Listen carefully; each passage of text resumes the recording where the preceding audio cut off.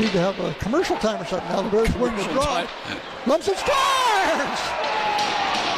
A clean face-off win and Jesse Lumsden. Quick shot and uh, look, the way the goalie had that, it almost felt. He, I think he felt like it went under his arm. That one, that's kicked to the corner. Now Wasmer tries Fauché again up on the top of that blue line, and he's going to walk down this time and scores!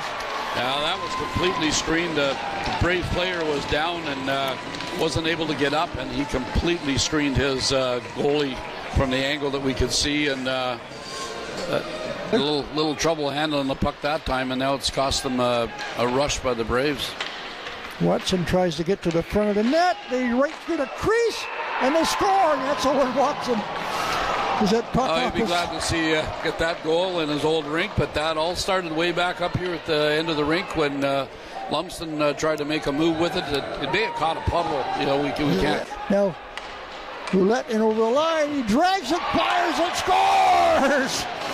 Yeah, that's a play I've seen him uh, seen him make since he was eight years old. It all the way through the They almost zone. need to uh, and then and then lose it. Like it's just uh, And Poche will put that one in the open net for his second.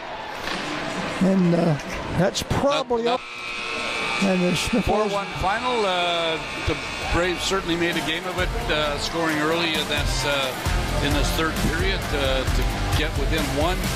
Uh, but it wasn't long after till the Bears uh, got that two lead back, two goal lead back, and uh, captain with the empty net goal. Yeah, I think they called it now. That third goal was probably the one that kind of uh, finished it because they uh, they had some life, and if they could have gone a couple minutes without any goal scoring, they probably would have had an opportunity. Yeah.